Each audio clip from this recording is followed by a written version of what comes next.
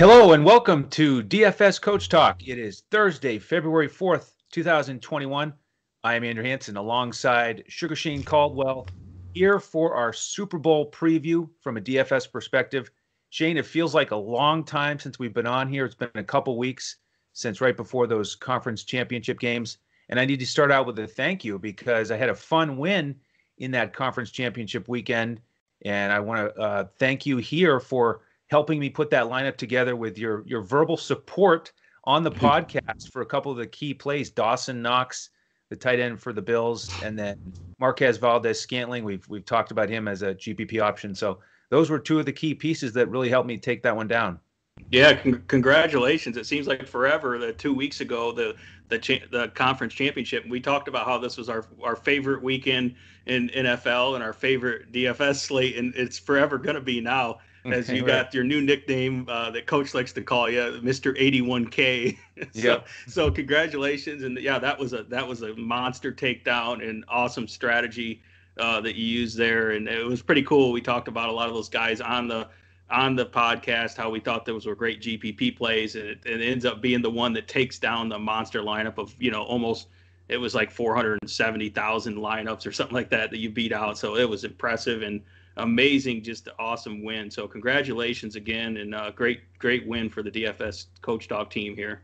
Yeah, definitely, certainly was, and you know, again, thank you for uh, everything this season. We've done these podcasts for every slate for the whole season. It's been it's been a grind, but it's been a lot of fun.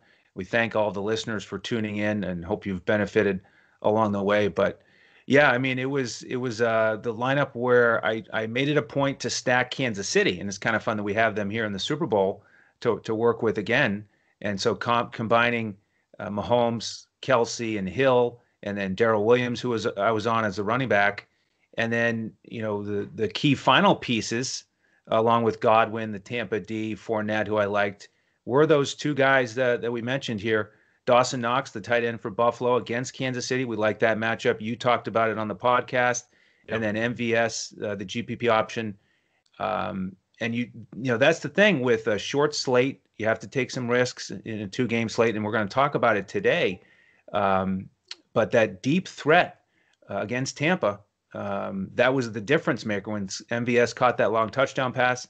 And we know the big theme coming into super bowl 55 is tyreek hill and what he did against tampa back in week 12 so um, in terms of you know tying it together what we want to do today is break this game down one team at a time, like we always do. We'll start with Kansas City, then we'll go to Tampa Bay. And about halfway through the show, we're going to add some showdown strategy tips on DraftKings and FanDuel to help you get ready for these huge contests. Because hey, we had a we had a great weekend, uh, conference championship weekend. There's no reason why we can't do it again, right, Shane? Absolutely, and I, I think that's going to be great to give some tips because this is like the ultimate showdown and showdown strategy. You have to think completely differently than you normally would. You're going to be going up against a ton of lineups. It's only one game, so you got to figure out a creative way to hit hit it big and get different there. And um, I have some kind of contrarian takes here that I'll talk about with no, this game too. I, I wouldn't expect that from you. Yeah, I know you, you definitely expect it, but I'm, I'm I'm a little bit contrarian compared to probably the public here. Um, but I have uh, you know information to back that up, and you know uh, you know r- rationale there to back that up. But so it's just a, a, a, couple things that could I think listeners will like to consider when it comes to this game here. Looking forward to it. So let's start to break this baby down, get everybody ready. Uh, it's going to be a lot of fun down in Tampa.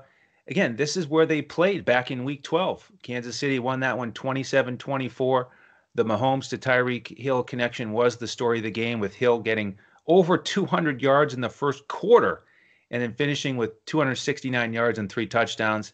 Tampa made that nice comeback to make it close late. But uh, here we are again in terms of the, the betting approach uh, from the big picture. We have another game total here of 56, and the number's been changing a little bit here and there. Uh, but right now on betus.com.pa, our presenting sponsor, Kansas City three and a half point favorites. And in terms of the injury news, right now it looks like most of the key skill position players are going to play. We're recording this on Thursday afternoon so we could get all the updated practice information. And Sammy Watkins and Le'Veon Bell both had limited practices today. They've been questionable, but it looks like they'll be available. And then on the Tampa side, we have uh, Antonio Brown, he got in a full practice. And then uh, Cameron Brate popped up with a little bit of a back issue. He was limited. So that's the only kind of negative trend we've had here recently. And then the other key piece of injury news, of course, is the Kansas City offensive line. They lost their left tackle against Buffalo Fisher, and their right tackle is going to be out as well, Schwartz. So a little I, bit tougher. Can I ask you a question real quick? Is this this Antonio Brown's first Super Bowl? Right? I'm just I was just trying to think of that. I believe it is. I don't think he played with one with the Steelers, did he? I don't think he did. I was just trying to remember that. You're right. I think it might be his first one, but here's the interesting thing about this game: you have two, uh, potentially two of the greatest quarterbacks of all time. If Mahomes continues to do what he's doing, you have two of the best tight ends of all time in this game. And Antonio Brown, as much as you might not like him the way he's been lately, he's still one of the best wide receivers of all time in this game. So interesting that the amount of star power in terms of historically and in this game on Sunday. So it's it's huge. Absolutely. And I mean, not to mention Tyreek Hill. If he can stay healthy and take advantage of this speed for a few more years, he's going to continue to put up gaudy numbers. Absolutely. So, yeah, it's it's going to be a lot of fun. Um, and and just what a story for Tom Brady uh, to make that transition to Tampa and take those guys this far and have a real legit shot to to do it. And we'll get to that uh, to that squad here in a little bit. But let's start with Kansas City, Shane, and uh, give us a little overview here of the strategy you think Kansas City will use the Tampa Bay weaknesses on defense, if you can find some, and who you think we might want to target from a DFS perspective. Yeah, well, I'll just start right off the get go with what I think is a little contrarian. Is I think this game in general is going to go under um, by quite a bit. I think it's going to be. It's not going to be, uh, you know, a super low scoring game, but I think it's going to be fairly low scoring compared to what the public is thinking here. Um, I I think that Tampa Bay's defense is healthy at the right time in matching up good against this potent Kansas City offense. Kansas City probably one of the best offenses of all time, but it just so happens they lost their their pretty much their starting right tackle Mitchell Schwartz is out and their left tackle Eric Fisher their stud left tackle is out. So now you don't have any bookend tackles and you're rotating guards out there and rotating this offensive line. So you got an inexperienced offensive line playing out of position against a really good uh, pass rush, uh, ferocious, fast, and physical Tampa Bay defense. So I don't think it's a great combination for huge upside, and I don't expect to see the same type of game where Kansas City just lights them up right out of the gate uh, with Tyreek Hill here. So obviously Mahomes is in play here. He's pretty much a lock for everyone. But if you were building multiple lineups, you could uh, do a couple lineups where you fade Mahomes because there is the uh, the possibility that he gets shut down. If you just look at it seems like this is a long time ago, but in the divisional round, you know, Cleveland had kind of shut him down. Now he did get injured in that game, but even you know before the injury, he wasn't doing much. He you know he hurt his toe and then he got concussed, but they kind of shut him down most of the game there. He didn't have a monster game, and that's potential that Tampa Bay can do that and limit Patrick Mahomes. Um, he does that thing where he fades back and kind of goes back and then hits people uh, hits hits guys deep, but I just don't think he's going to have enough time to fade back that much. And and I think uh, the one thing with Tampa Bay is they have uh, they have all their guys back. Lavonte David, their other star linebackers out there with White, their other linebacker, they're all healthy now. The safety Winfield's coming back for Tampa Bay, and then also you have Jamel Dean who did not play in the first game. And when Jamel Dean, who he's a big corner, but he's fast, he's like a 4 3 speed guy. He's the type of guy that might be able to match up with Tyreek Hill and, and run with him a little bit. They didn't have him for that game in week 12. So Tyreek Hill proceeded just to completely roast Carlton Davis on every single play, it seemed like. Yes, right. He so he got he just got him real early. But they're going to game plan, I think, to take Tyreek Hill out or at least limit his upside here. And I think Jamel Dean will be a part of that. Sean Murphy Bunting is uh, their nickel slot corner. He's one of the hottest corners right now. He's had an interception in every single playoff game. His passer uh, coverage rating's way higher than the regular season, so you can't really look at regular season stats. He's picked off, uh, you know, the quarterback every single week, including guys like Drew Brees and Aaron Rodgers, you know, which is really hard to pick off. Um, so my point is they're they're playing a lot better, and they're going to with the weakness of the offensive line, they're going to put a lot more pressure on them. Um, now, with that being said, I still am interested in Mahomes. I think if you're just making a few lineups, you got to lock him in there. He's still going to get his. It's just not going to be maybe as much upside as we're used to with him. Um, and then from there, my favorite target, obviously with Mahomes, would be Kelce. Um, I think they're going to limit Tyreek Hill a little bit. I'm not saying they're going to shut Tyreek Hill down, but I think they're going to limit his upside. And I think people will be chasing that big game from week 12 without considering all the things that I just talked about. Um, I think there's going to be a lot more short underneath passes. They're going to have to get rid of the ball quick because the pass rush will be bearing down on Mahomes very quickly, especially with the banged up offensive line. So Kelce plays into that well. The short passes, the run after the catch, the physicality, the good connections on those really quick, you know, in routes and you know turnaround your curl routes that Kelce does. I think Kelce is the mismatch. Tampa Bay's linebackers are not that great in, great in coverage, so I think Kelce could can really beat their linebackers and safeties, and we'll have a big game here. So that's the guy I like the most.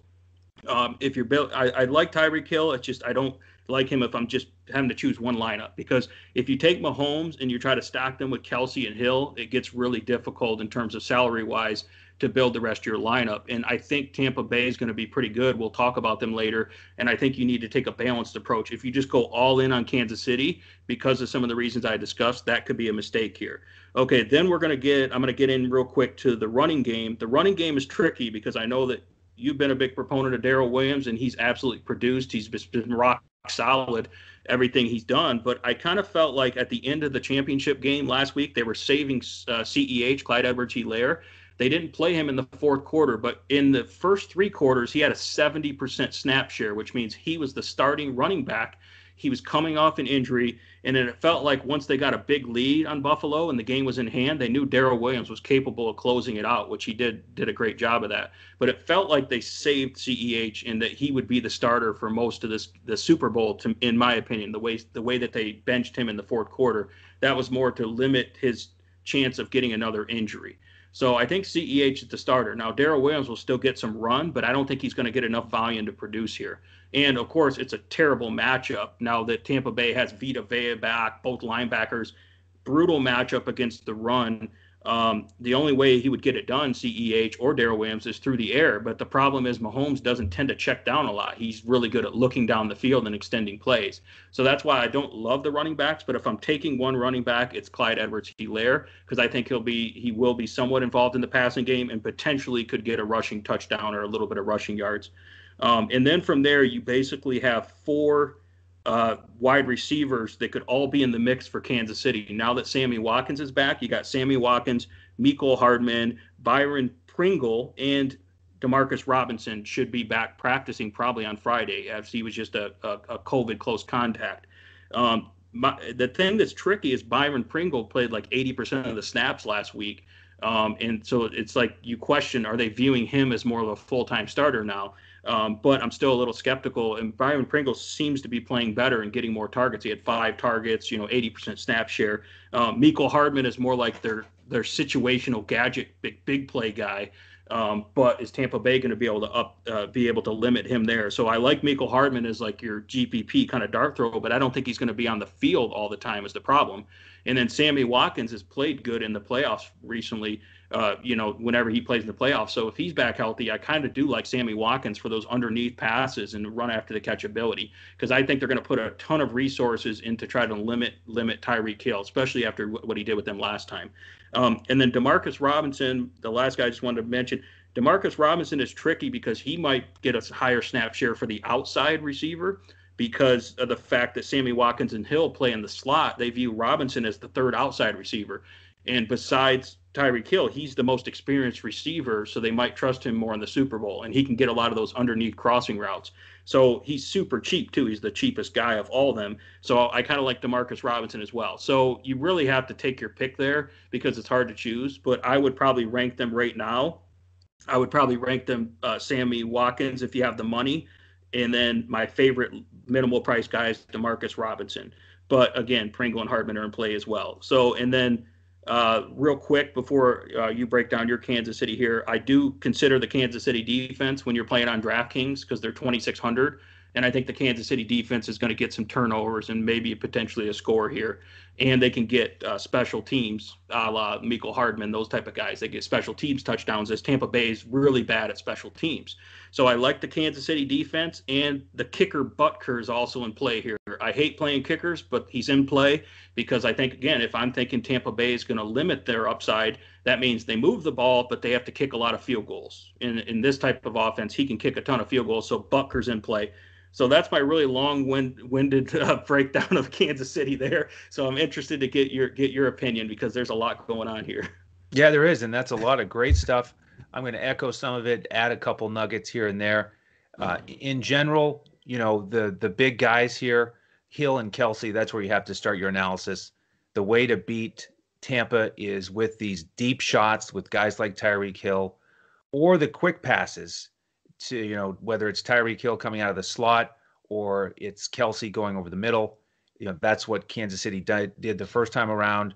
Um, and you know, if you if you think about attacking Tampa, um, here's here's something to keep in mind. They've won every single game since they lost to Kansas City, seven in a row, four straight to close out the regular season. Then they've won three in a row in the playoffs.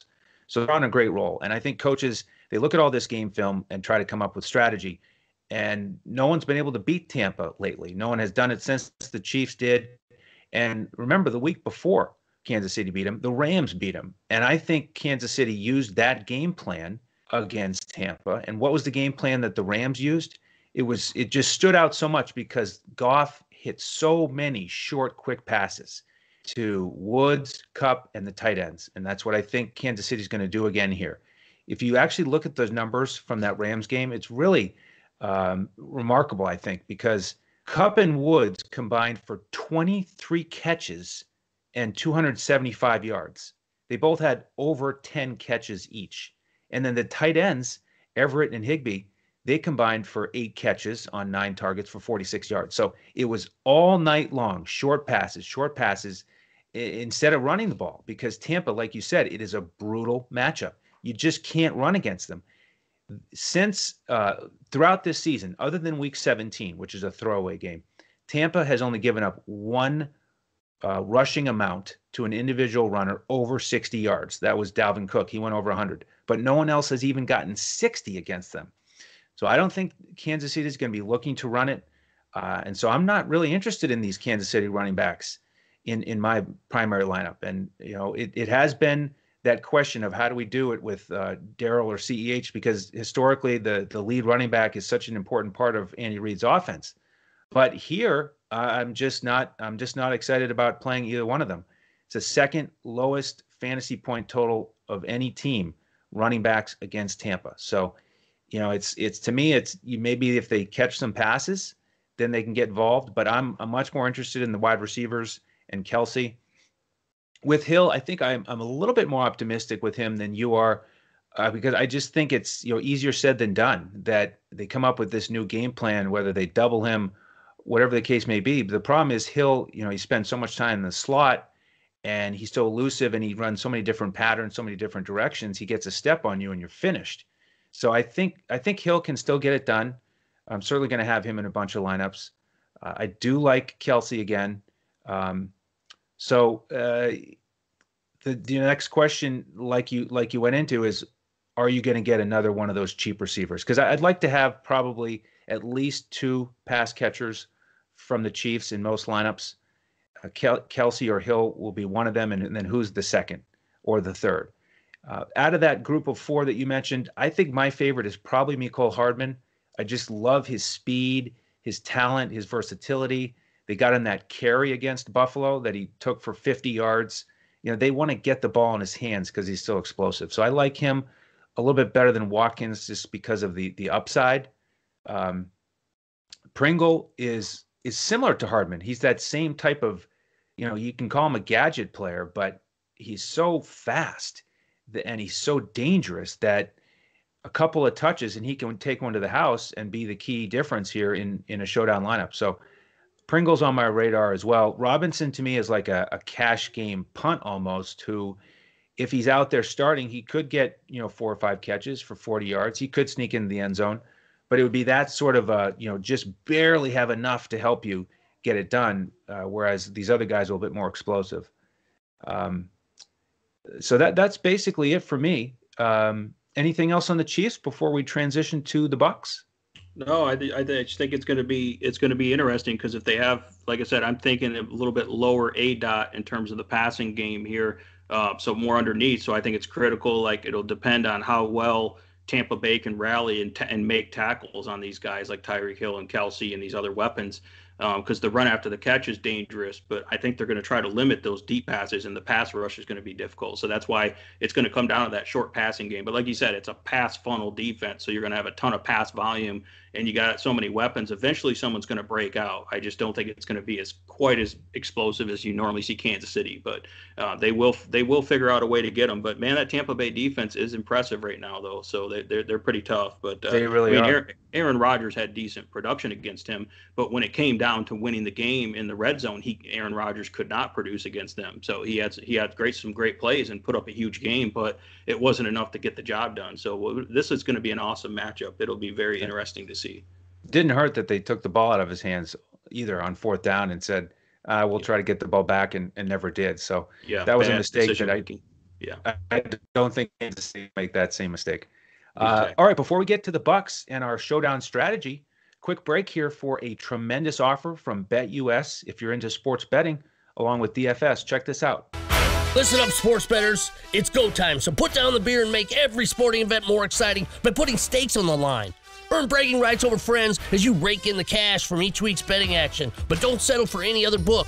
Choose America's favorite sports book with over 25 trusted years in the industry. You need a sports book with integrity and longevity, and most importantly, a sports book that pays. BetUS has your game with action on football, baseball, and basketball, MMA, golf, horses, and even esports. No other sportsbook welcomes newcomers like BetUS with their jaw-dropping sign-up bonuses.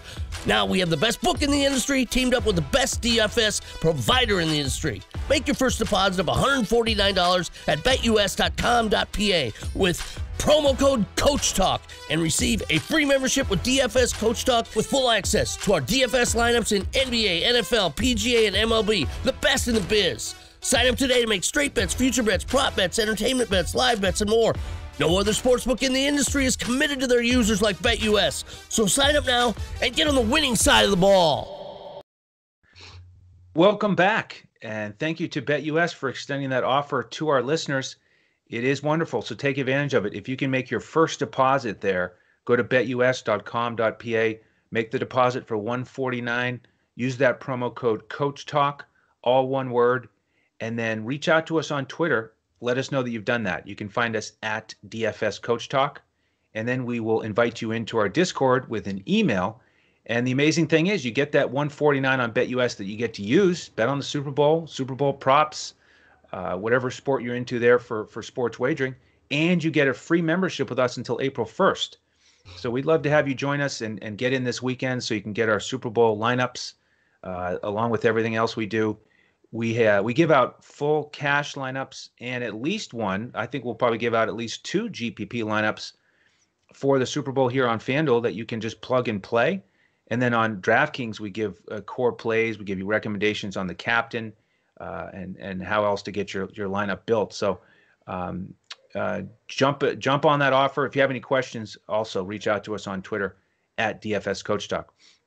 Right, Shane. Before we get into Tampa here, let's talk a little strategy in terms of showdown because this is a unique format and not uh, not everyone who's listening will have uh, you know spent as much time on showdowns throughout the season. Uh, folks who you know look more at the uh, full slate on Sunday, but uh, give us a thought here uh, that might help folks gain an edge this weekend. Yeah, with the showdowns, are completely different. you don't just fill up fill up your lineup with what you think are the best guys. You know, the most expensive guys that are the best because you're not only competing to score the most points, you're competing with all these other lineups. If you're in a big tournament, you're competing with hundreds of thousands of lineups. And there's a lot of duplication here. There's a lot of a lot of the same lineups. So if you're going in and you're spending almost all your salary, you're almost guaranteed if you do have a win to split it with, you know, potentially thousands of people and your your windfall would be a lot less. So my strategy here, my advice here is if you're looking to do a GPP strategy and potentially get a big win and have something unique, is you have to get unique with your lineup, and one way to do that is to leave a ton of salary left over. So you have to make some really uncomfortable decisions. So, for example, if you're coming to the end with your last play and you can either play, let's say, Tyreek Hill, um, but all of a sudden instead you go down to like Mike Evans, might be two or three thousand less. Like that's an uncomfortable decision, right? Because you're thinking Tyreek Hill is going to just smash, and you go down to Mike Evans. Well, not that many people are going to make that decision. They're going to see the salary available and they're going to go up to, let's say, like Tyreek Hill or Kelce in that situation, right? If you went down to Mike Evans instead, and let's say Mike Evans had a two touchdown game, which he he did against them in Week 12, by the way, and let's say the other guy that you would have went up to that you that would have made sense to spend, he didn't get a touchdown for some reason, he got shut out. Look at the huge edge you get there. So my advice is don't be afraid to leave thousands of dollars on the table for salary and and make that uncomfortable move in that unique lineup because that's the only way to get unique. And um, if you want to differentiate, you you could build if you're building multiple lineups, maybe build a couple where you spend more money and you say, well, if I win, this is my optimal lineup. I'm going to split with a lot of people, and then build a couple unique ones where you get a little bit different, or you leave a ton of money on there and you say, if I win on this one, I'm going to have a huge win because I'm not going to split with so many people similar to what you did uh, you know a few weeks ago you only split with like six people so you still had a mega size win huge win there as opposed to you know splitting. Um, so that's just something to keep in mind there. Just don't be afraid to leave a ton on the salary and make some some strange uncomfortable things that feel weird to you you know like going down uh, off Tyreek Hill to some other player for example. So that's my my best advice on a showdown here yeah, that's a great point. And by the way, if you're used to spending almost all your salary in any given contest, and you think, well, man, if I leave like twelve hundred on the table, okay, now now I'm getting a little bit risky and uncomfortable because I'm used to spending everything, maybe to save hundred or two hundred, but that e- that's not even enough on a slate like this. There are going to be thousands and thousands of lineups like that. I mean, we're talking like leave more than five thousand on the table, so it's like extremely uncomfortable. So you're you're making that type of sacrifice like Shane was talking about. That's the type of lineup that could be unique or much more limited. So we're talking thousands on the table to get towards unique. Um, you know, you, you mentioned unique approaches here to to um, you know get a more unique lineup. So here's a couple of thoughts. Try different combinations that uh, you don't normally do or think of, like uh, you know, the the lineup I I won with two weeks ago, I had two tight ends, Dawson Knox and Kelce, and that's something I've talked about throughout the season. On a full slate, don't be afraid to use two tight ends. Uh, that can be the difference maker. Or on a slate like this, how about two running backs from the same team? That's not something most people normally do. But what if Fournette and uh, Jones here, as we you know talk about Tampa here in a minute, what if they get 10 plus carries each, like they did uh, against Green Bay last week. Fournette had 12 carries, Jones had 10. And the, the running back matchup is one way you can attack Kansas City. So why not try a lineup with both of those guys? That's one way to do it. Or what if you use a couple receivers from one team and the quarterback from the other? That can work. Now, lots of times on DraftKings, if you have a wide receiver or tight end as a captain, you normally want the quarterback paired with him. But um, this is the type of scenario where I think you can go with something like Hill and Kelce, but not use Mahomes and use Brady.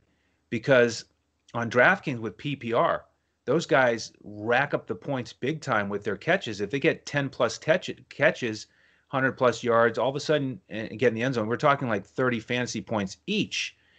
Do you necessarily need to pay up for Mahomes?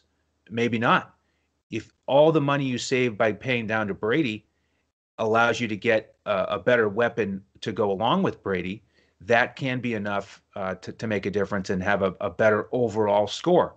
So again, like like Shane's saying, you don't just stack Mahomes, Hill, Kelce, and then put in a couple cheap guy cheap guys. You got to think about the the final score that you're you're putting together with all of your all of your guys. All right, Shane, let's uh, transition into Tampa Bay. Uh, folks, if you have any questions about any of that strategy, again, feel free to reach out to us. You can get Shane on Twitter at DET Sports Shane. You can find me at Language Olympic. And the coach is available at J O E S A R V A D I. All right, uh, Tampa. Uh, talk to me here, Shane. They need to uh, come up with a good game plan here down at Raymond James Stadium to keep the ball away from Kansas City and find a way to put up some points. Yeah, I mean Tampa Bay. I think their offense has by far, especially with the injuries on Kansas City, they have by far the best offensive line in this game. So that does give them an advantage. Um, they've been a little bit shaky in pass protection at times, but they're pretty solid and they're really good at run run blocking as well. So overall, Tampa Bay has a great offensive line. Now, now Kansas City's defense can bring some pressure with Chris Jones and uh, uh, Clark and those guys in there. They, they have a lot of pressure they can put on you. And you've noticed Kansas City's secondary has been really sticky in coverage. I love how uh, Romo was mentioning that, how sticky they were. And, you know, last week's game against Buffalo, they were really good in coverage, very high, highly rated, especially in the playoffs. So it's going to be tough for these guys to get open, but Tampa Bay happens to have some of the best wide receivers in the game uh, at at uh, Tom Brady's disposal here. So so I do like the Tampa Bay offense here, and I think this is important. It's important in this slate to have a balanced approach, to have a good exposure to Tampa Bay and Kansas City, and not just go all in on Kansas City here. Um, so I think Tom Brady's in play here. Uh, you know, he had a he had a pretty solid game against them uh, last time in uh, Week 12. He did throw a couple interceptions but overall, you know, he looked pretty good. Uh, you know, uh, Antonio Brown was just kind of getting in the mix at that point, just getting acclimated, so he didn't have as much time with him at that point. But Brady had a solid game. Um, I so I do like Tom Brady here. It's just a matter if you can fit him if you're playing Mahomes as well. It gets a little bit difficult. Um, and then uh, obviously, if if you want to pair him, I think uh, Godwin will probably be the number one target in terms of in terms of overall targets over the middle. Um, Kansas City has uh, L'Jarius Sneed playing in their slot corner, and he, he's pretty solid actually for a rookie. I think he's finally healthy now. He had some injury issues, but he's pretty solid. But he's still a rookie, and it's one of the best slot receivers that Sneed has faced is, is Godwin. So Godwin's looking good, but he is going to be super high owned as well. I probably prefer Godwin a little bit more in the PPR format, like DraftKings full PPR, because I expect you know, more short passes to him. But in terms of big playability and red zone threat, I think Mike Evans is the way to go here. So especially if you're looking at FanDuel, he's a little bit cheaper than Godwin. I probably prefer Mike Evans.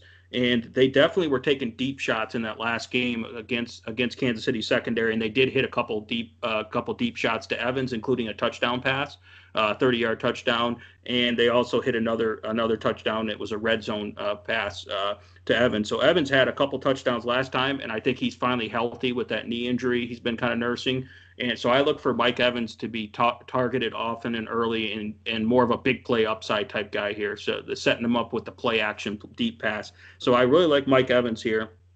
And the other thing that I like a lot is the Tampa Bay running game. We were just talking about how you could potentially play two running backs. I think that's in play here. Uh, Tampa Bay has, uh, I think it's a uh, 40%, 41% run blocking advantage, their offensive line against Kansas City's defensive front. They have a big run blocking advantage. They have really big athletes on their offensive line to move people.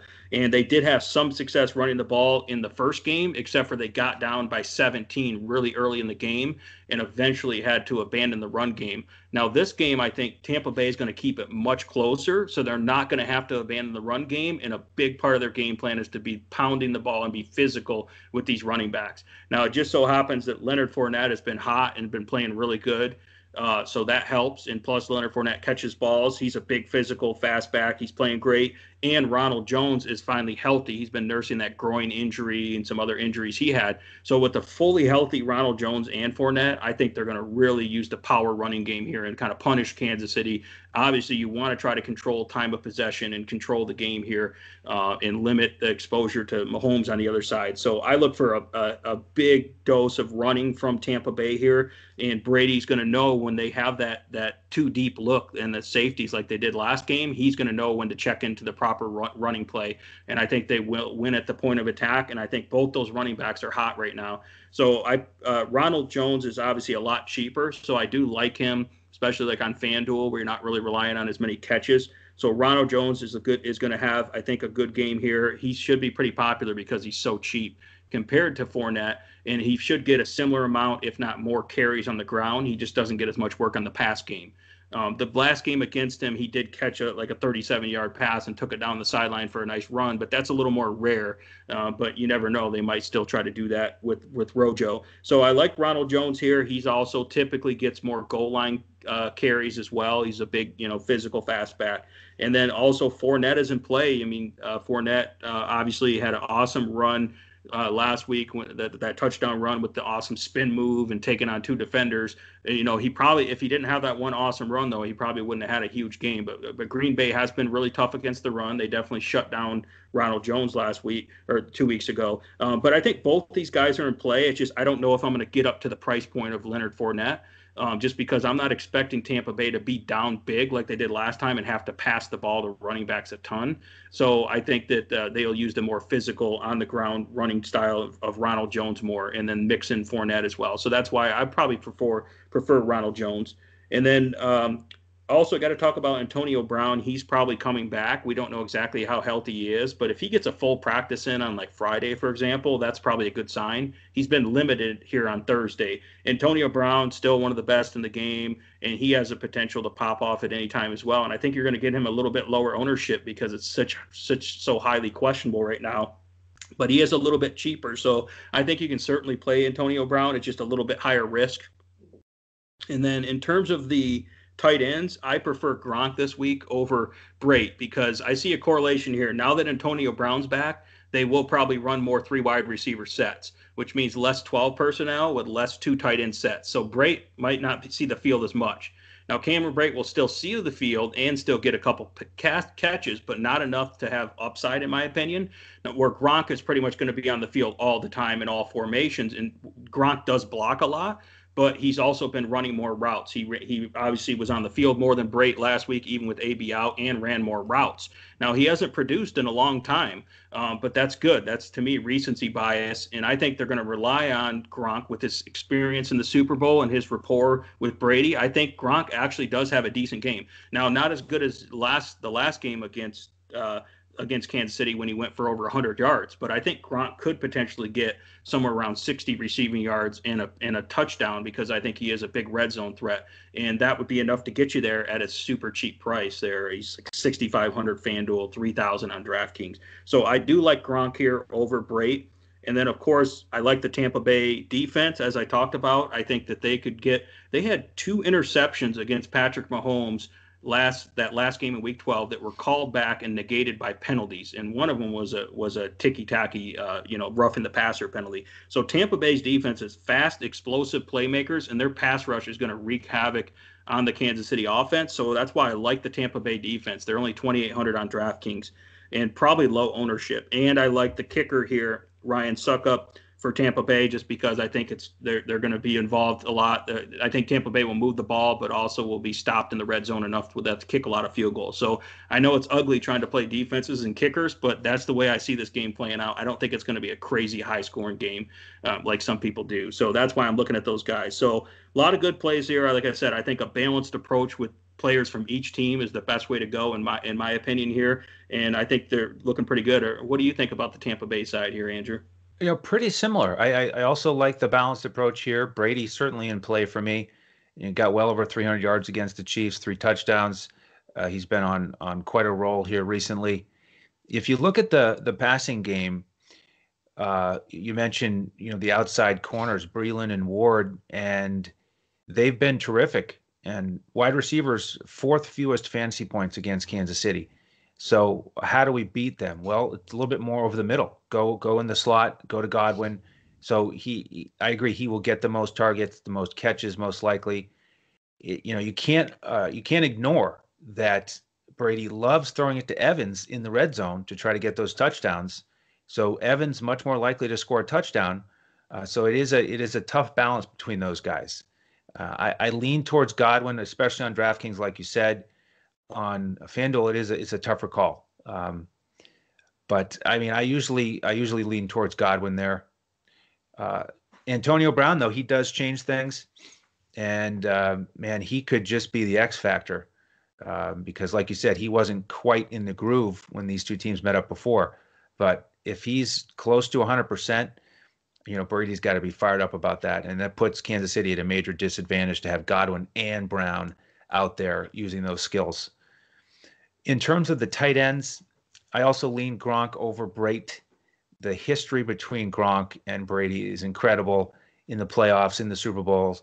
And, you know, he has been just a little bit off. He has gotten some end zone targets in the playoffs um, and, you know, hasn't had that big game. but he's just so close, and I think they will find a way to take advantage of that connection. Not to mention, you know, Brate being a little bit limited here on Thursday in practice, and the tight ends against Kansas City, sixth best matchup in the NFL.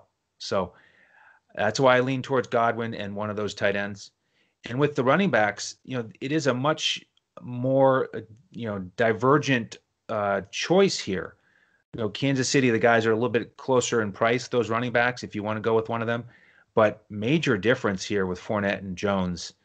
So it's tough because, you know, Fournette seems to have gotten the trust of of Tampa Bay here, getting more snaps, get you know, getting those opportunities to catch to catch balls. He did look great on that spin move, man. That was a lot of fun against Green Bay. Oh, yeah. uh, he's getting the getting the receptions, but Jones we know has been a little bit limited with the quad. Seems like he's getting stronger and stronger. I thought he looked pretty good against Green Bay, even though they they bottled him up. You know, in terms of just how he looked running it. Um, I like Jones at 2200 on DraftKings. Yeah, he and, looked really good against uh, Kansas City last time too. That last game, he only got nine carries, but he went for 66 yards because it was yeah. he was he was game scripted out, but and he did here, look really good. Exactly, and if again if you compare these backfields in that game, Tampa had 12 carries for 76 with Fournette and Jones, so over six yards per carry, whereas Ceh and Bell were 16 for 59, so under four yards per carry. So one more reason why if if I'm only going to have one running back, it's probably going to be one of the Bucks this week. Uh, and that defense is in play. 2,800. You just need one uh, pick six, and uh, you've you know you've paid off that that price tag for sure. Yeah, I expect a pretty good amount of sacks too. Like I said, they're gonna they're gonna be getting to Mahomes a lot, and he, like I said, he can only fade backwards so much. He's really good at that, but they're they're gonna get to him, I think, in this game. Excellent. Well, uh, man, it's it's a little bit sad to say, but this is the end of the Super Bowl show here. So we, we wrap up our season of coverage.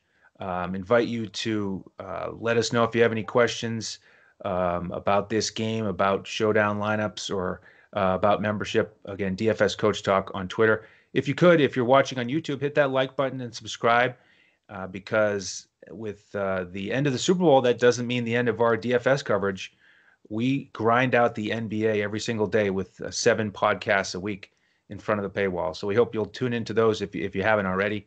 And um, oh, by the way, we just introduced a three day membership option. So if you want to jump in with us this weekend, go to our website, uh, pick up our three day membership. We'll get you into Discord. You get all these lineups. Shane, any final thoughts here for Super Bowl 55? No, I think it's uh, same same thing I said on championship weekend, which was enjoy the game and appreciate it because you know we'll have a break of football after this and uh, really uh, you know enjoy the historical perspective and and how amazing these games are that we get to watch them and don't take it for granted. And I think you took my advice and enjoyed the championship weekend, didn't you? Yes, sir. I think yes, you indeed. did. I think I think you enjoyed it uh, more than probably most people. But that's my advice: is enjoy the game and uh, you know get in here and uh, with these DFS lineups. And I l- look forward to seeing everyone's big wins uh, for the Super Bowl and uh, and really enjoying the game. And uh, yeah, it's been great. I appreciate everything you've done this year. It's been great doing NFL with you, and I hope everyone keeps tuning in to listen to all our awesome, great content. But yeah, it's been a great season. Absolutely, yeah. So.